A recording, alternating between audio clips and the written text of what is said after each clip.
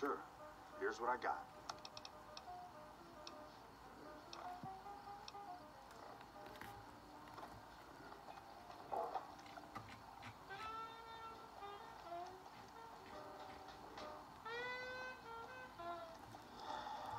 Between you and me, I don't think she studied at an accredited institution. What can I do for you?